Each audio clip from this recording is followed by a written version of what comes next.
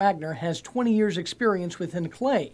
But what about the other members that make up the 47 member force? One of the requirements that we had within our job description is that anyone that we hired had to have a minimum of uh, two years of experience. While two years was the requirement, Clay Superintendent Addison Davis says the least experienced officer has 12 years in law enforcement, the most 30.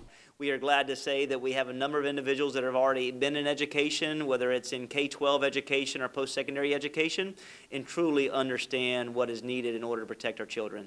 Despite prior experience and required certification through the Florida Department of Law Enforcement, Davis adds the 47 members have been going through training since June, including work with the FBI.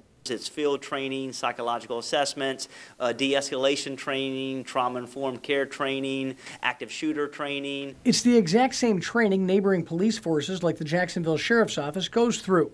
Clay School District even hired former FBI agents to work on background checks to make sure they weren't hiring just any average Andy with police experience.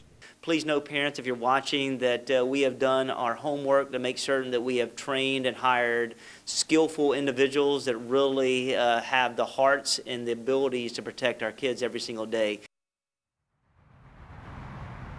And back out here live, Davis says most importantly, this allows Clay County to have a resource officer in every school throughout the district, something they have not had, and estimates this will save the county about $1.2 million annually in the first year and then there the years after. In Clay County tonight, Nick Perot, First Coast News on your side.